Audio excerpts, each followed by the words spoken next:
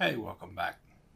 Uh, back here to look at the uh, the compact survival kit I was going to put together for throwing on the back of the motorcycle well, to fit in the tail bag. And I've been working on moving some stuff around that I've already got and creating a couple smaller, like tens of things that uh, should work well, um, focused around like a 72 hour uh, time frame. A uh, couple things that I'm still working on. Um, uh, water.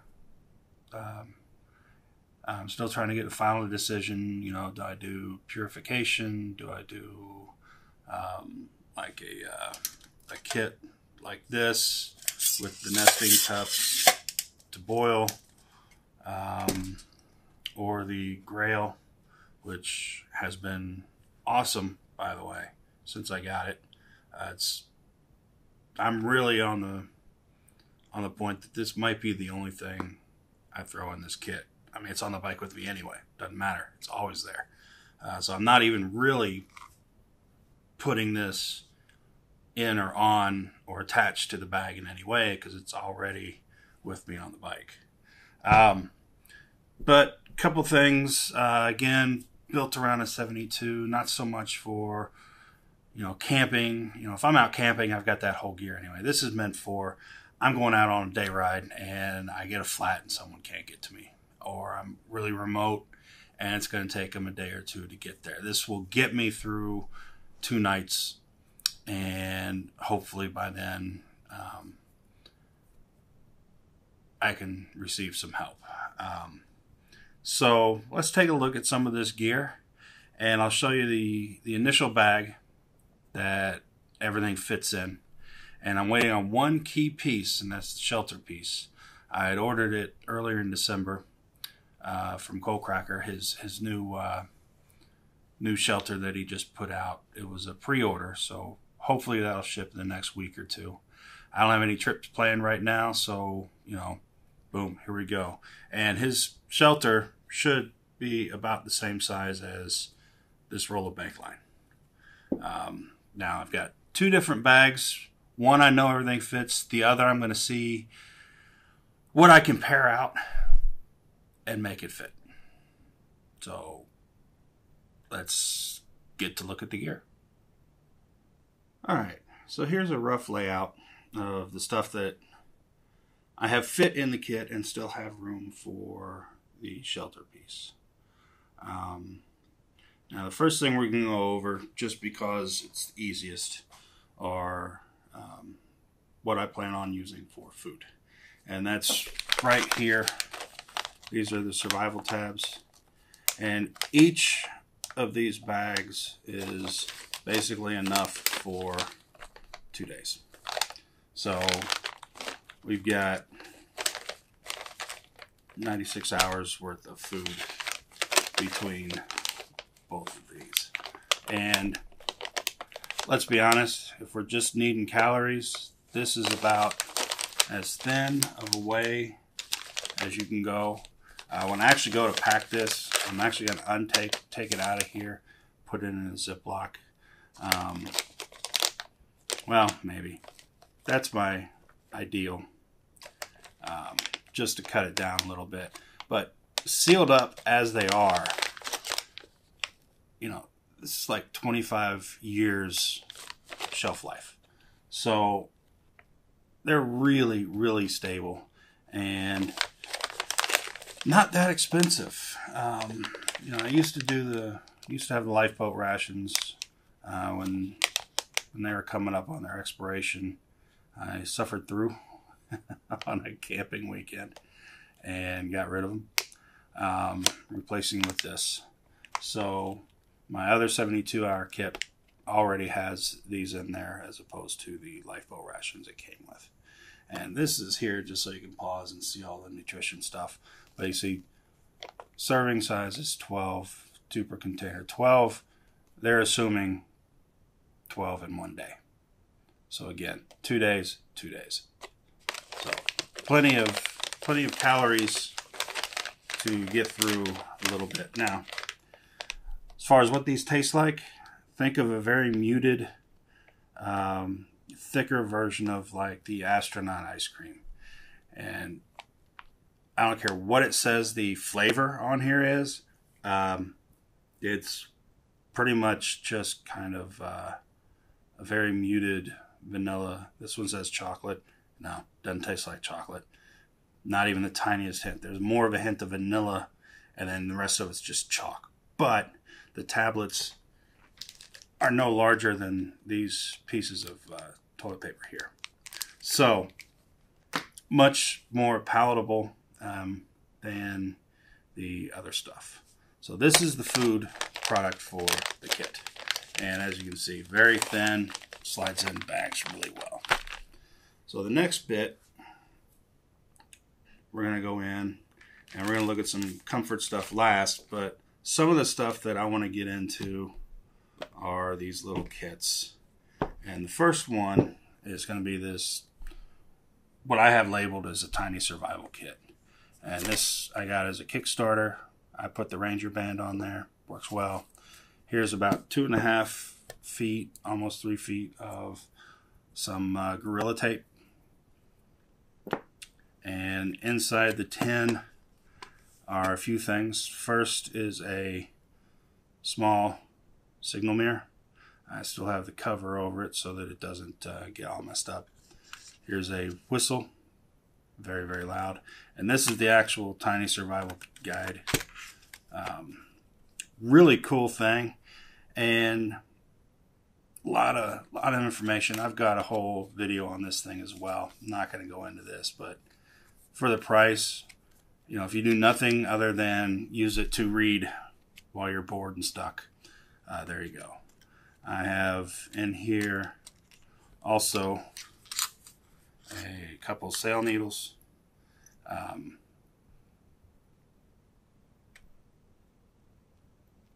which have since been magnetized by this. Now, this is where it gets a little fun to get the crap out.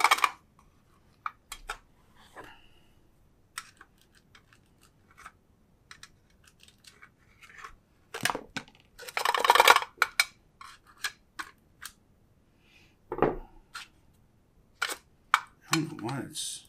I may have to. May move it to a bigger tin. I don't know. But there's a Fresnel lens in here as well as a small sharpening stone. Actually, there are two Fresnel lenses in here. So those will probably stay in there. Um, but got a six, a thousand grit stone. Um, and as you can see, from the size. Great little size. This magnet is really just to keep and be able to put all this stuff back. I have not taken any of this out. I don't plan on it. Um, this kind of stuff is last ditch. Um, and when I did the Kickstarter, which is, you know, because I knew knew the channel that did it, did the Kickstarter just to uh, give a little hand. But this was my main thing. I wanted a couple of those. I've got one I keep in a different kit. And then in this one, I plan on leaving, actually leaving this one on the bike. Um, yeah, this is... Uh, put these needles back in here. And like I said, small signal mirror, small whistle. Um, whistle actually came from the, uh, I got a second compass. I've got my main compass, which is MC2. I got another Suunto um, that I plan on keeping with this kit. Um, not another MC2 but still a good one. So that's what's in this. And this really doesn't have to be in this kit. I would take the signal mirror and the uh, whistle out and put it somewhere else. But that's what's in this little kit. Doesn't take up a whole lot of room. So let's move on to signaling. Couple Ranger bands again, just to keep them closed. I've got so many of these 10s that I just decided I might as well start using them more. Uh, we're going to move some of this stuff out of the way a little bit. And let me adjust a touch. Alrighty. So in the signal kit, this one I'm going to put somewhere else. Uh, it's just in here for now. But we got some ribbon and a lot of this stuff in here actually came out of the signal kit I got with the uh, Graybeard Green Berets uh, tactical boot. Um, it was part of a survival kit, uh, one of the little boss bags. Here we got some reflective tape, um, which can stick somewhere. Uh, cool stuff. Ribbon. Um, these are probably going to find themselves somewhere else. These are some like waypoint markers, um, just some pins you can stick into a tree. Uh, here's another whistle. Um, redundancy. This is the other compass I was talking about. And I left the cover on here. But again, Suunto always points true. And uh, while it doesn't have all the cool extra features of the uh, MC2, it is enough to get by. So I just wanted something that was easy to use, something I'm used to using, and here we are. And also in here is a piece of chalk and three little um, chemical lights. And again, some of the redundant stuff, uh, like a signal mirror, because I've already got one in here. I'm probably not going to keep this one in this kit. But for now, hey, it fits in here. Why not? Having a couple whistles in two different places is not a bad idea. Uh, just in case you get lost or you lose one or misplace or you know anything can happen. And let's see if this will all uh, for the most part. But again, it's coming in a bigger bag, and that's what the uh, Ranger bands are for. Uh, but once I get rid of that other mirror, I just I need another place to put it. I've got like three of them now. So that's what's in the little uh, signals, signaling and navigation kit. Um, now, of course, you know with navigation, I'm, if I'm on the bike, I'll have my phone, and you know there's power there, so that's not a huge issue, but backup's not a bad thing. Next, we're going to go, uh, let's, yeah, let's do the first aid. And this is just a simple kit. Uh, I've got one that I keep on the motorcycle itself that's, you know, geared for the type of accidents that can happen and injuries you can get if you go over on the bike. Uh, but this is just some simple, simple stuff. Uh, got some Benadryl, uh, I've got six Advil, six aspirin, six Tylenol. I've got some ointment, antacids, diaphen, and diamode, and some bandages and stuff in the bottom. And one thing that I know I've forgotten way too many times, and that's just some decent chapstick. Eh, it, chapped lips are one of the most annoying, uncomfortable, always on your mind issues when you're out. And don't have any. I have bought so many of these on the road because I neglected to put them in my kit. It's just not even funny. But that's the simple kind of uh, mostly medications uh, first aid kit. Um, that's just to supplement what's already on the motorcycle, which has fewer medications and more trauma, uh, considering the injuries from a motorcycle going down. Um, we'll move into tinder, fire, uh, fire starting, and stuff like that. Uh, this I'm throwing in the kit because it's That's why I made it. Uh, this is a simple kind of micro fire starter with some tinder. I've got the innards from um, Paratinder right there. Can be cut up and pulled apart. And inside there's a striker. A small but definitely useful um, ferro rod. And this is some uh, some waxed, um, some kind of impregnated uh, fire tinder like lint. And then I've got a cut of wax impregnated. And all this stuff I've used before, so I decided, hey, let's just get a bit of this and throw it into a tiny kit and just throw make that into something I can throw into a larger kit, which is exactly what I ended up doing. And being waterproof, once it's all done and said and done, you know, it's waterproof.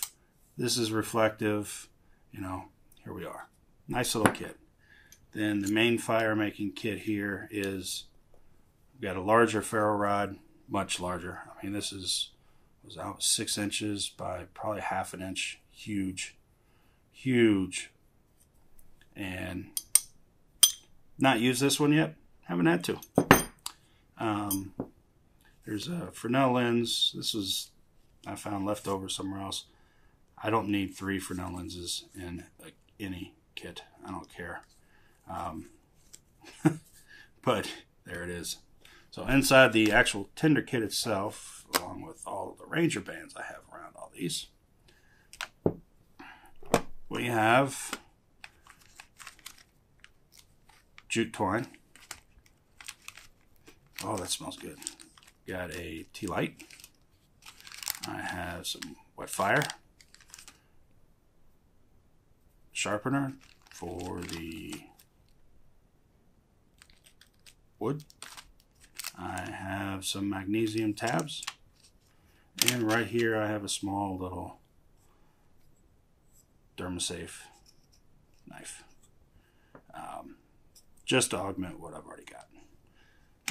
The main part of this kit is the wood, tea light, and probably the jute twine. Um, this would be a last resort if I can't get anything else going. Um, that's what the wet fire is there for. Uh, candle would probably be just to kind of kick one of those off, get them started. And jute twine is jute twine. I mean, you can do anything with it. Plus, it's a little extra cordage. And most of the stuff in this tinder kit also came from one of the Boss the Boss Fire kit, which came with the uh, Gray Bearded Green Beret stocking, uh, which was kind of cool. Kind of cool. Enjoyed a lot of stuff that's in there. It, a lot of stuff ended up in different kits. Um, I took the fire kit and the signaling kit apart to fill out a few things that I needed to fill out. Um, so that's fire. Fire is easy. And when I'm on the bike, I've always got my uh, pipe kit, which has a lighter, which I fill before I leave for the day. Um, has a Zippo. And it's just, you know, it's one of the things I like to do. I'll carry a small bit of uh, flask of bourbon and the pipe. And when I'm stopping for lunch or stopping for the day, if I'm camping, boom, guess what? Entertainment. And speak of entertainment, here's a single piece, which, you know, even with the phone and the games and shit like that, man, I, I just, I love just having some cards. And these came with something I ordered from Pathfinder School. And uh, you know what? Hey, they're not waterproof, but doesn't matter. They're gonna work. They'll keep me busy. So for lighting, I have this is the main hand light, which is magnetic and is great. This is the Olight Warrior Mini, and it's all charged up. Uh, double hit that, puts the safety on so it doesn't come on. Um, and I've had this for a little bit, used it a little bit. I have not put it through its paces yet, but I've got other light Olights that I have, and they are they work wonders. So there's handheld, and then my main Olight, which goes um, with different kits, is also an light. the H1R, goes around your head. They both charge the same way on the bottom, and they they will run forever on uh, their moonlight, which most of the time that's all I really need. But this, the headlamp goes with different kits, so I'm going to get a different, a second one for this kit, but I just wanted to show it here.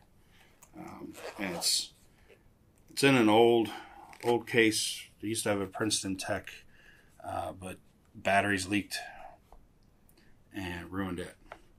Uh, to go along with the lights, I've got a charge kit which has the Olight charger in there.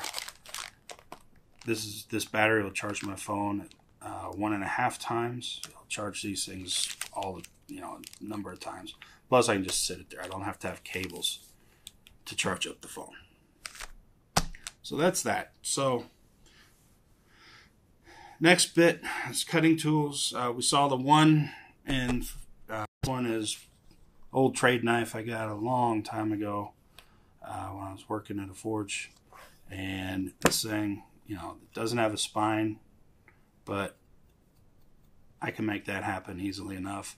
This thing is sharp as ever, and I have put it through its paces like mad, and it uh, it just keeps working. So it goes in the kit. Um, it's the one that I can move around, the one that I can spare, and the one that'll fit. And also, you know, on the side of the road, if you're using one like this, that's then I mean, that's more more or less like a table knife. So, you know, people don't feel as weird. Uh, I've got two different types of tinder. Now, if I go for a smaller bag, I'll probably leave this out, especially once I get uh, the shelter system, which already has the cordage built in. Uh, so this is just to augment. But this Kevlar cord is going to go in. Uh, as a just in case. I mean, a 200 pound test, um, pretty easy uh, to throw in there. So that's going in the kit as well. Now, when it comes to water, there's a few things. Uh, like I said, I can throw this, you know, I've got a little tiny wood stove or just use fire. Um, got the cup to boil in, and I've got a container to carry. And th- that right there is, you know, for most people, that that's what all they would ever need for water. And you know, nine out of ten times, that's all I would ever need for water. Until, well, I also threw this in there because you know, take it out of the fire. Until I found this thing, and the Grayl GeoPress has been phenomenal. Um, there's it's just so easy. You know, I've got the Sawyer kits to put in here if I wanted to, but by the time I put all the bags and the tubing and the gray water bag and everything else, it gets too big. So if I just need water to drink because I have food that I don't have to cook, then this is all I need. Um, the only time it becomes an issue is whenever I want coffee. Uh, I've always got a coffee bag in here. Uh, my favorite right now for a long while is the Black Rifle Instant is very, very good uh, for instant coffee. Uh, three packets, three days. And then the other thing I have in here um, which has been awesome on bike rides, is uh, vitamin C. You just throw that in your water and get a little bit of taste, get some vitamin C in there, and it helps give you a little boost. Um, and if you're out, it might have an injury or inclement weather, extra vitamin C will go a long way. So just a little thing. I, I keep some of the vitamin C stuff in my first aid kit as well. It's just it's that good. Um, and again, having extra vitamin C, extra nutrients is not going to be a bad idea. Uh, also, with the water, you know, if I want to get and fill this up a few times, want somewhere to store it, here's some. I've got some. Uh, these came from Best Glide, and they're one liter stand-up bags, and uh, I think there's six in here. Maybe I've got three. Uh, this one's a pack of three. I've got a pack of six in my main kit as well. And these things are, you can't boil in them, but you can store some water in there. So if the creek is not close to running back and forth, I can fill this up, dump it in these bags, and then fill this up one last time. And I got plenty of water to make it through a night. And these things right here, I got into using these while on the motorcycle a while back, and not just for their intended to use, but you know also I've used them as fire tinder. Um, you just kind of break them apart, and they come apart, and they get big. It takes a little extra time, but it works. Uh, and if you just burn them like this, they'll burn for a couple minutes, enough to get a fire going. But just a few drops of water gives you something to clean your face off, wipe your gear down. Um, you know, I've used them to wipe the uh, face shield on my helmet. Um, and these three are just thrown in here for good measure. But I always keep pack of 10 of these things with me, and I love the little thing it comes with. Um, that's in there just because um, it may not stay. Again, I'm this was more to go along if I was doing this and making coffee and stuff. But for the most part, right here is what goes in the kit minus a um, a bag, uh, not bag, but a um, shelter, which ends up being about that big, folded up. Um, the bag that carries everything, I know that carries everything already is one I got a while back, and it used I had it sitting on the bottom of my backpack, and the shelter will fit in one side. Everything fits in this bag.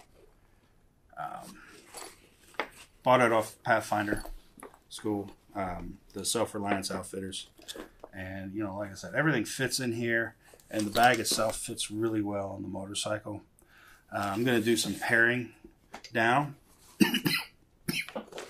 excuse me, get rid of a few redundancies that are not really needed based on what I usually carry on the bike.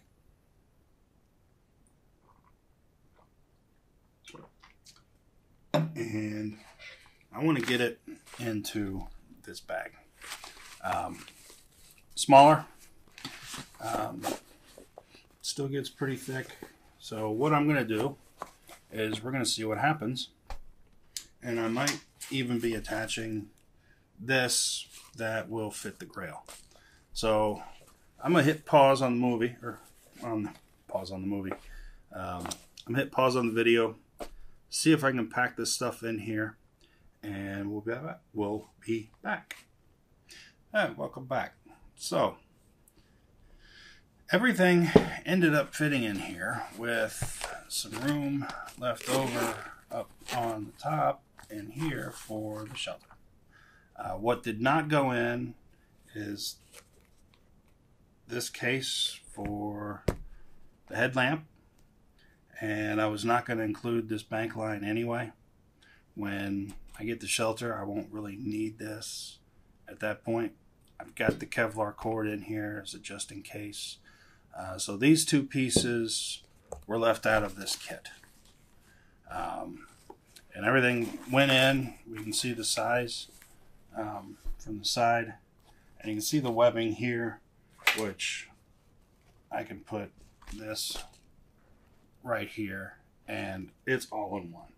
Uh, the other thing with this kit, which is really neat, is in the back.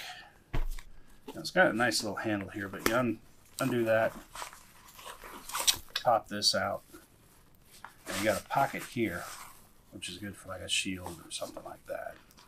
Um,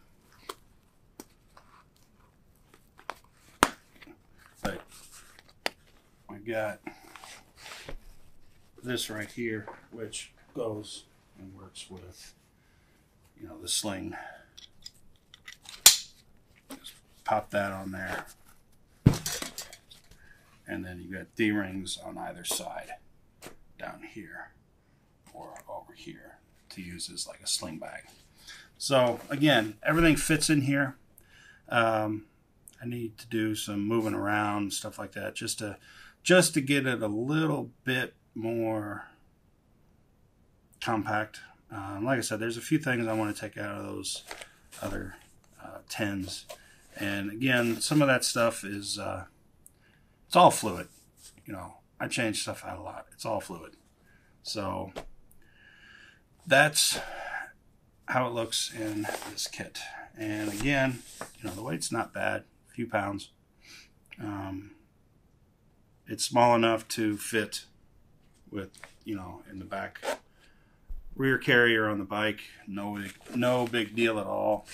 Um, I didn't put this on just because I, you know, it'll it'll go on one side eventually. I just want to figure out which side I'm going to sling it on. So, but this thing works with the Grayl.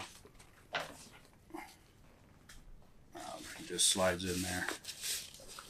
And for doing a, I mean, this, hell, this bag would be even decent for a day hike or an overnight, really. no,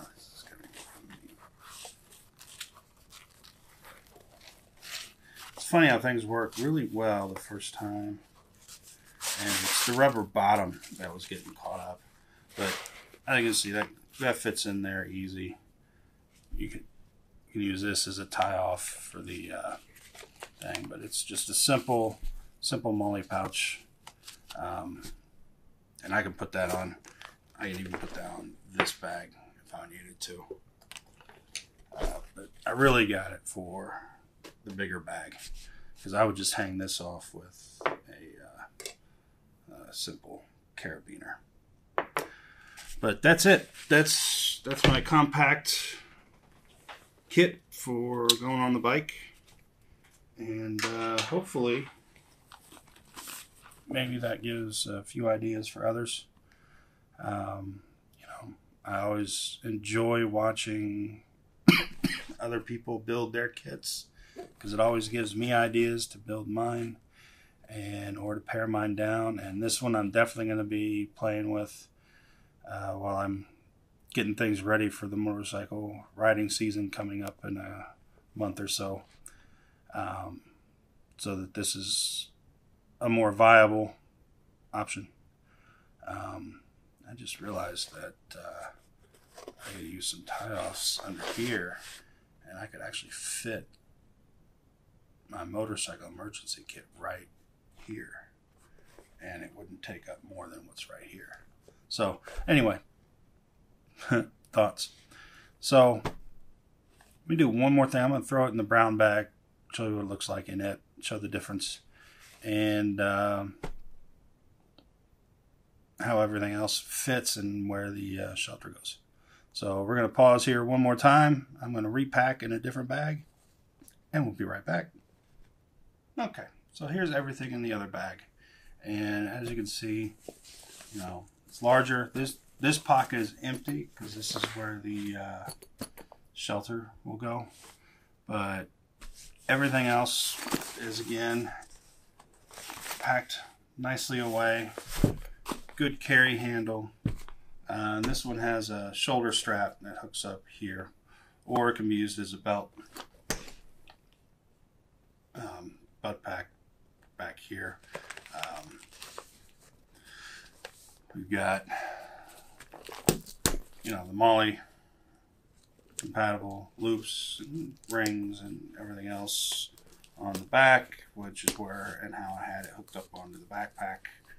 Um, but again, as I'm paring things down, I was not needing, I was finding nothing else to put into this pack once I had my backpack packed. So this came off the backpack, and this is what kind of initially started the idea of doing a uh, like a day hike or a compact um, 72 hour kit to just get by. Now, and again, in this kit itself, there is no actual water, but with the Grayl and the water bags, water's covered. Um, you have to have a source no matter what. So there we are. So that's it. Those are the uh, two bags that I have um, and have uh, been able to get 99% of the same gear in, um, leaving out some of the cordage in the, uh, the case for the headlamp. And as you can see, there's more room left in this one than I had. This one was pretty pretty packed, but as you can see, there is. I mean, it spreads way out. So a lot can go into this pack. Obviously, since the same amount of stuff is over here, except for you know, I've got the cordage, but I've got the Kevlar cord. Everything else has its has its thing. So here we are, two different bags, same amount of stuff in each, just two different form factors. Um, I'm probably going to focus more around this one and do a secondary uh, 72 hour kit with this and utilize the uh, Sawyer system rather than the Grayl.